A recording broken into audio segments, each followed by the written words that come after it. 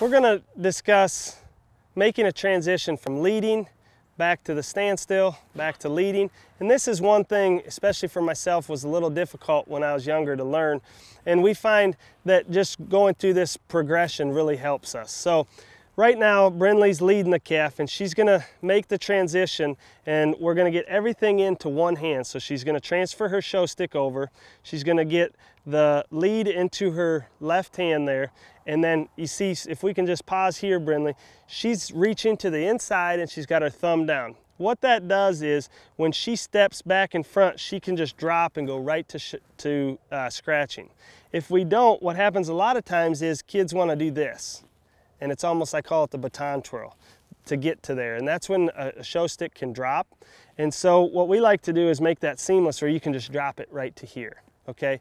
The other thing that happens is if you grab it with your thumb up, now you've got to get there somehow so you see kids do this a little bit and again that's where you can drop it. So if Brynlee, if you want to make that transition slow back to leading, yep, and she's back to leading. Now I'm going to have her make that transition back to the standstill and she comes in with the thumb down and she's right where she needs to be.